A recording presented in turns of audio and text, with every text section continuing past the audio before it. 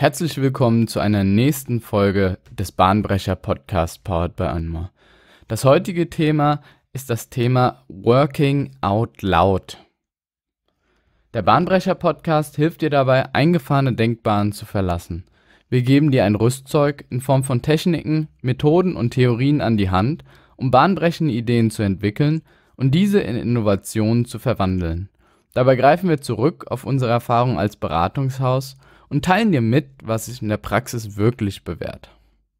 Bei Working Out Loud handelt es sich um eine konkrete Methodik, die entwickelt wurde und die angewendet werden kann. Sie dient in erster Linie dazu, Beziehungen zu anderen Personen aufzubauen, allerdings nicht mit dem Hintergrund des Netzwerkens, also möglichst viele Personen in seinem Umfeld zu haben, die dann in gewisser Weise einem vielleicht irgendwann mal helfen können oder die dazu dienen, einen Kundenauftrag zu akquirieren, sondern der Ansatz ist ein anderer. Beim Working Out Loud gilt es Beziehungen, feste Beziehungen aufzubauen, die den Hintergrund haben, ein konkretes Ziel zu verfolgen.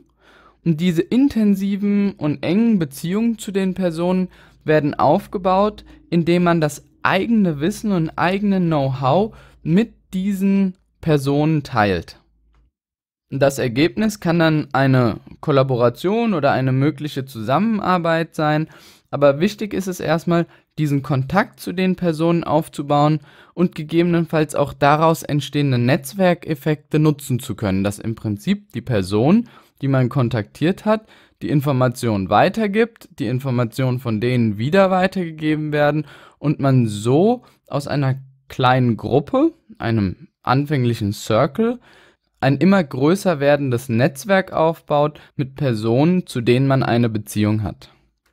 Formuliert wurde der Name als erstes in einem Blogpost von Bryce Williams im Jahre 2010 und größere Popularität hat er widerfahren durch ein Buch, welches 2015 von John Stepper geschrieben wurde.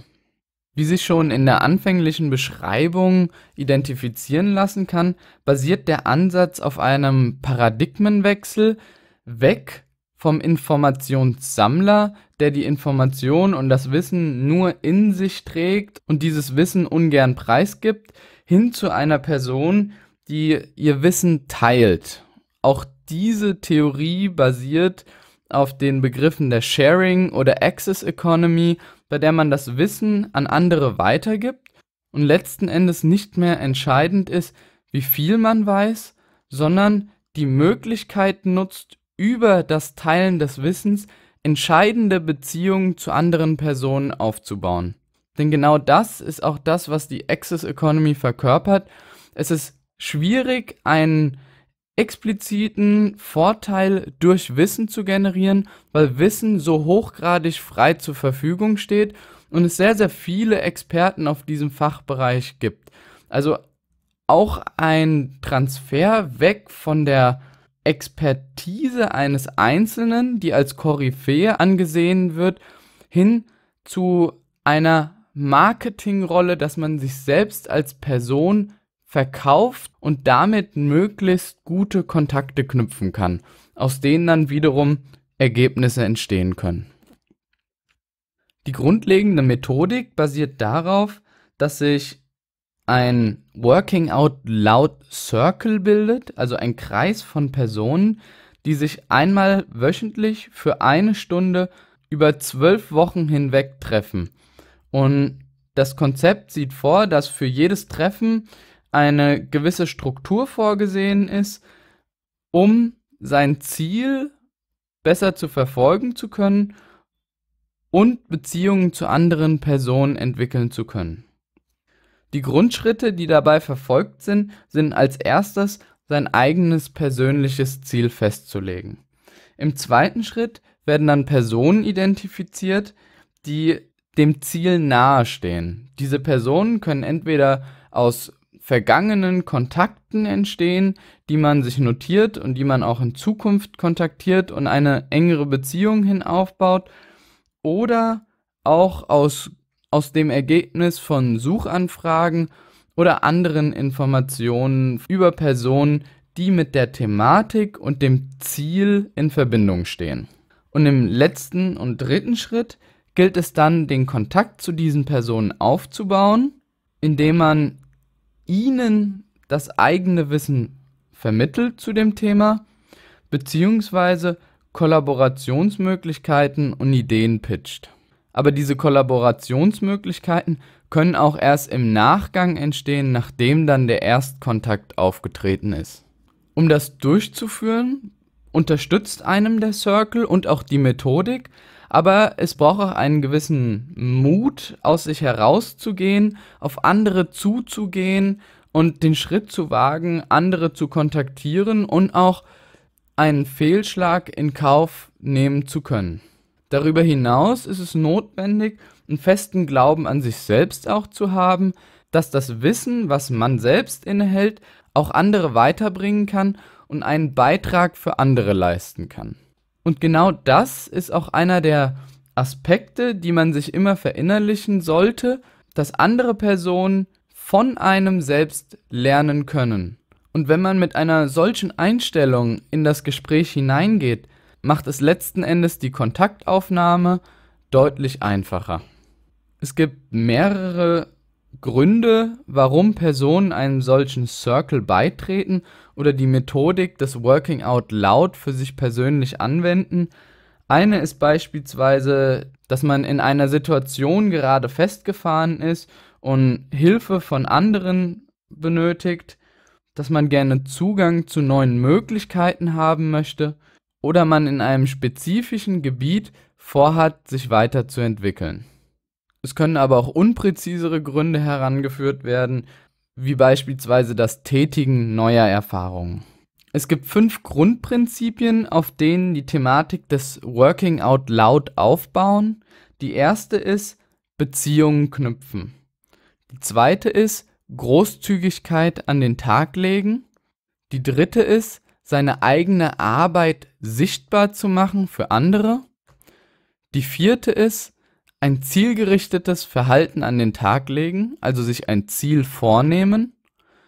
Und die fünfte ist, das wachstumsorientierte Denken. Um diese neuen Beziehungen aufzubauen, gilt es auch moderne Wege zum Beziehungsaufbau zu nutzen. Hierzu gehört beispielsweise das Kreieren eines Blogs oder verschiedener Blogposts, sei es auf LinkedIn, Xing oder Tumblr, aber auch das Kreieren einer eigenen Webseite oder eines eigenen Blogs kann dazugehören.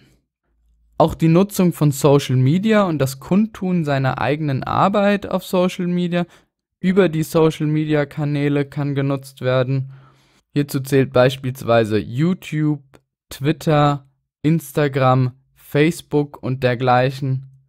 Aber auch genau das, was wir hier gerade machen, ist ein Teil von Working Out Loud, das Produzieren eines Wissenspodcasts, in dem wir Themen kostenlos vermitteln und zur Verfügung stellen, um gegebenenfalls auf diese Art und Weise Kontakte knüpfen zu können und Beziehungen entstehen lassen zu können aber auch die Teilnahme an Meetups ist eine der vielen Möglichkeiten, Beziehungen über moderne Kanäle entstehen zu lassen.